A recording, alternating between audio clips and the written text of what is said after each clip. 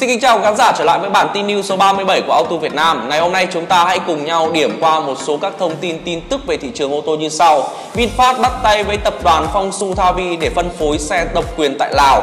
Đặt cọc mua xe ô tô điện trước ngày 16 tháng 7 năm 2021, VinFast sẽ tặng ngay 100% lệ phí trước bạ khi đăng ký xe ô tô.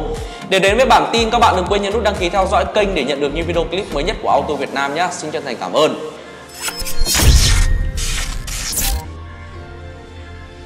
Theo thỏa thuận ở hội nghị cấp nhà nước thì hai bên sẽ cam kết cùng nhau thảo luận xem xét về khả năng Phong Suthavi trở thành nhà phân phối độc quyền các dòng xe sản phẩm ô tô VinFast ở tại thị trường Lào.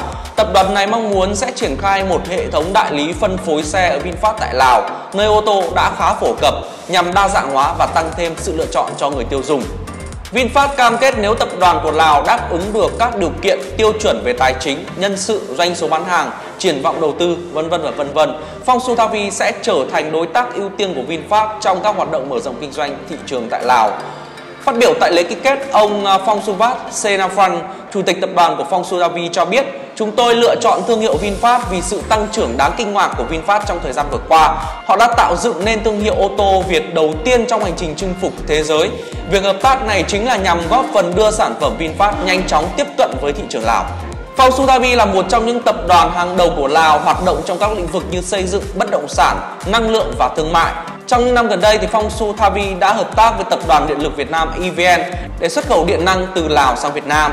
Cá nhân mình cho rằng đây là một trong những thông tin rất vui và tích cực đối với Việt Nam nói chung và đối với thương hiệu ô tô VinFast nói riêng.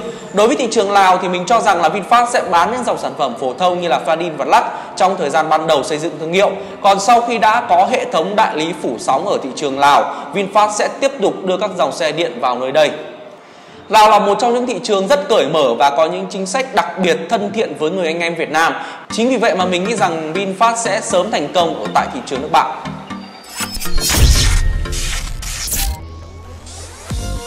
Theo thông tin đến từ phía VinFast thì khách hàng đặt cọc đủ 50 triệu đồng trước ngày 16 tháng 7 năm 2021 và cam kết mua xe VinFast VF E34 không hoàn hủy, chuyển nhượng, đổi cọc sang mẫu xe khác sẽ được tặng ngay 100% lệ phí trước bạ. Và đặc biệt hơn nữa nếu như mua trước ngày 30 tháng 6 năm 2021, khách hàng còn được gấp đôi ưu đãi khi có thể sở hữu VF E34 chỉ với mức giá là 590 triệu đồng và được tặng một năm miễn phí thuê bao pin.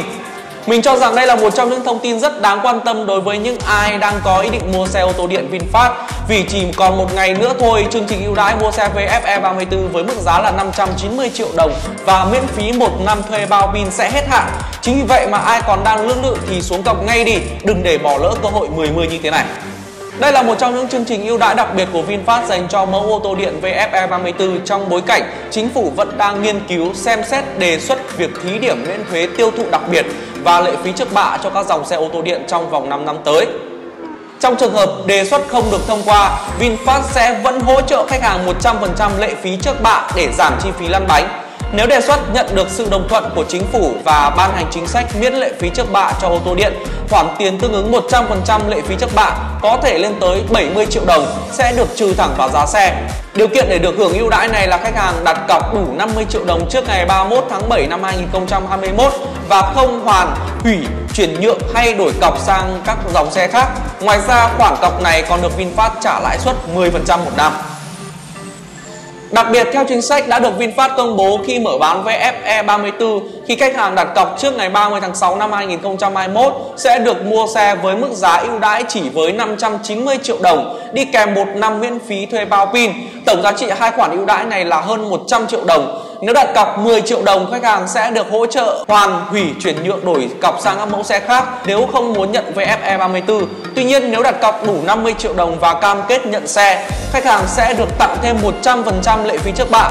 Ưu đãi lên tới 200 triệu đồng là một trong những con số không hề nhỏ và gần như bằng một nửa VinFast Fadil rồi.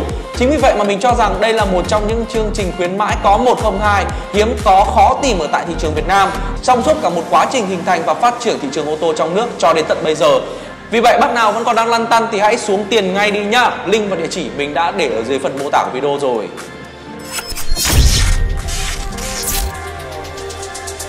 Cảm ơn quý vị và các bạn đã tham gia bản tin news số 37 của Auto Việt Nam. Xin được cảm ơn, xin chào và hẹn gặp lại ở những video clip tiếp theo.